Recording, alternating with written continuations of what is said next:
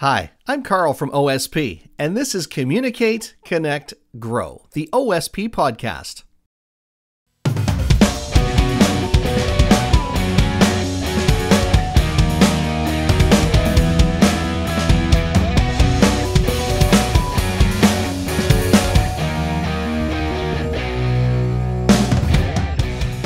On today's episode, we're talking about avoiding repetition in your writing with the editing code REPET. About our podcast, if you want to be a more effective writer, a more transparent editor, develop clearer strategic thinking, or learn from our network of expert friends and colleagues, that's what we're here for. We divide our episodes across three themes communicate, connect, and grow. This is a communicate episode, and we're talking about avoiding repetition in your writing with our editorial code REPET. The REPET editing code falls into the style and phrasing part of the editing process. It's about being mindful of your phrasing so that you're not repeating yourself unnecessarily. In our documentation about this code, it says avoid repetition in your writing. Not all repetition is bad, it has a purpose. It can be a powerful rhetorical tool it can be persuasive. A little can go a long way. Use it sparingly. Hi, I'm Jam. I'm one of the partners at Open Strategy Partners, and I do a lot of writing and editing and thinking about authentic communication. The editing code REPET comes from repetition. At the time when we were creating the first batch of these, I thought it would be awesome to have three letter names for the codes and then I thought of one that needed to be four, and then I thought of one that needed to be five, and we've tried to stop at five. Anyone who remembers Windows 3 and earlier, uh, yeah, eight character file names used to be a thing. That's not what we're about. Repet comes from repetition, and the idea is to avoid careless repetition, and that can come at different scopes in the process, anywhere from repeating entire ideas or things that are too similar to each other to be differentiated right down to the choice of specific words and pretty much everything in between. And the idea is to be mindful of what you're writing. My name is Liz, and I'm a communications consultant at OSP. So I help write and edit a lot of content for our clients from blog posts to case studies to landing pages. So the code REPET, it's about looking for repetitive clauses or sentences in piece of writing and trying to reduce the amount of repetition that you have in a piece. G'day, I'm Felicity Brand. I am a communications consultant at Open Strategy Partners and I work asynchronously with the rest of my team. I'm based in Australia and I am asleep while everyone else is awake. The editing code repet is about avoiding careless repetition. I think that this is an easy trap to fall into. I'm Christine Beuhler. I'm a communications consultant at Open Strategy Partners. In my day to day, I'm talking with clients and I'm helping them figure out what they want in terms of their communications. The Repet editing code is just making sure that you are not repeating yourself in your writing. I seem to notice instances of this when one of us, myself included, put the same conclusion at the end of a couple of sections of an article. Now, if we think that conclusion's important, I see how it happens. But if the reader reads that, you know, blah, blah, blah, blah, blah, and then red equals blue, and then something else, and then red equals blue, it feels a little weak sometimes. So when that happens, I will tend to see if those two sections might be able to be combined or if actually those two ideas are important enough that they need to go to different conclusions or avoid that repetition. When I notice repetition in a text, I spot an opportunity often to tighten things up avoiding mindless repetition is the important part. When I write an article, I want the introduction to tell the reader what's coming and, and what they can learn from it. And then I'm going to tell that story. And then in the conclusion, I'll probably repeat another version of that. And that's fine. But we're talking about being mindful and avoiding careless or unintentional repetition. I use the repet code usually when I'm reading through a draft and I notice that someone's made the same point twice, maybe in, in two different phrases, which is something that happens fairly often in first drafts, just while you're getting your thoughts out on the page. And usually two sentences can become one in that case. With repet, if I think something is a repetition, a careless repetition, I will mark that as an editor. Editing is a conversation, so that goes back to the writer and they can review what I've highlighted and reflect, and they can fix what was a repetition, or they can see that maybe they were trying to make two different points and they can tease it out.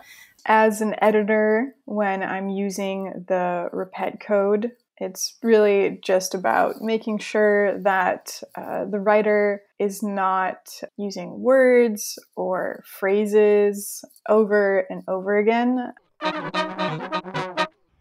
When I'm writing, I kind of have a feeling for what I'm doing, and I tend to notice using the same word too many times too close together.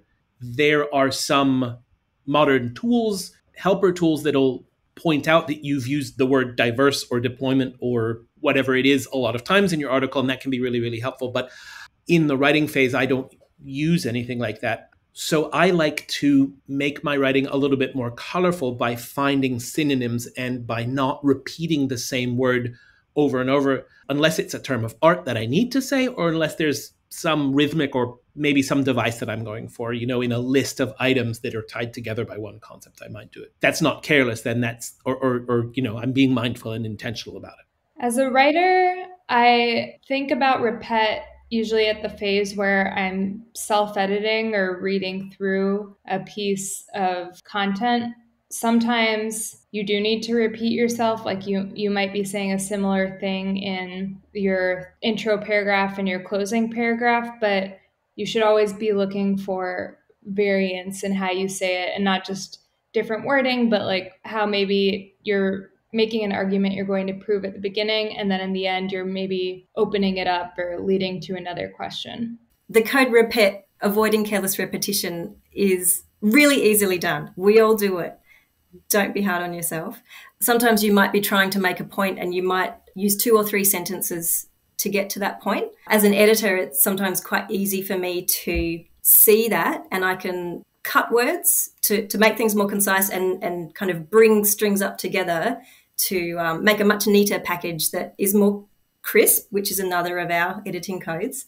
As a writer, you can pretty much always think of a new and different way to say something. But again, we talked about before, sometimes as a writer, you're too close to the piece where you might not even realize that you are repeating a word or a phrase. And so that's where the editor comes in. As a writer, when I'm drafting or creating a piece, sort of keeping repet in the back of my mind. I think it helps because it encourages you to be a little more creative with your phrasing. If you're avoiding repetition, you have to think of alternative ways to say something, which is good in general because it keeps the writing more interesting, more clear, more engaging in my view of professional communication in our context, which we usually call product communication, I feel that it is respectful to our readers to tell them something once and I hope that they get it. Why should I tell them twice or three times when I can tell them once? They can read the same paragraph again. I think it's respectful to limit the repetition honestly, if I can get something across in five or 600 words, why do I need to tell you in 1200 words instead? So it's about respecting people's time and intelligence along the way, too. Readers get really bored if they read a lot of repetitive writing. I think that's a pretty natural instinct. So that's why we as editors try to get rid of repetition as much as possible. People don't like feeling like they're having something drilled into them. The thing about repetition for a reader it's boring, yes. No one likes to read something repetitive. And this speaks to clarity. If we're looking at why the repet code is important for a reader, is um, at the basic level, yes, um, it's boring.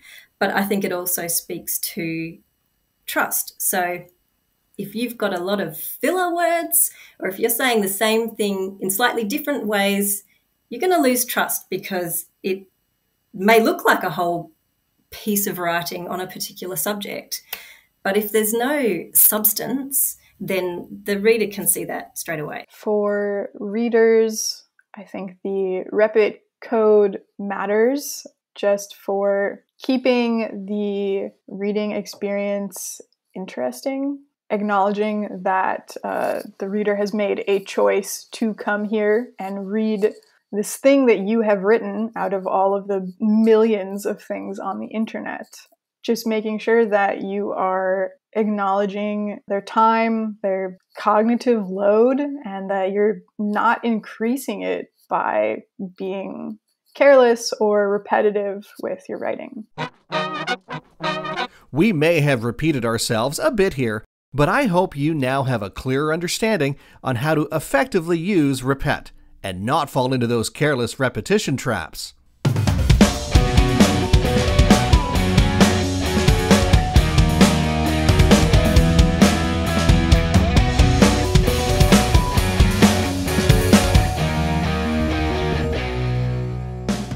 Do you address repetition in your writing? Share your examples or questions with us via Twitter at open underscore strategy or email hello at openstrategypartners.com. This was one of the editorial codes we use at OSP. We'll be sharing more of them as we go.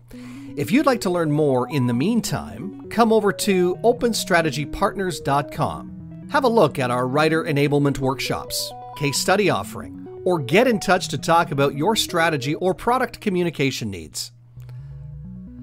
Thanks to everyone who contributed to this podcast. All the P's at OSP. Thanks to our clients who believe in us. Shout out to Patrick Gaumont for our high energy maple syrup flavored theme music, and to Mike Snow for additional horn arrangements. Thank you for listening and subscribing about our three themes on the podcast. You'll hear from different members of the OSP team hosting episodes over time. Communicate. All things communication. We share how we tackle writing, editing, word choices, formats, processes, and more. Connect. In depth conversations with interesting, smart people about who they are, what they do, and how they approach their life and work as communicators, technologists, and leaders. Grow. We cover strategic approaches to understanding and expressing the value of what you do, including tools, templates, and practical applications. We also feel strongly about building a mindful, positive, human first culture at work. That's bound to pop up from time to time, too. This podcast is us figuring out communication, connection, and growing together. Subscribe now on YouTube, Apple Podcasts, or the podcast channel of your choice. Follow us, suggest guests and topics, ask us questions on social media. We are at open underscore strategy on Twitter. Until next time, thanks for listening to Communicate, Connect, Grow the OSP Podcast.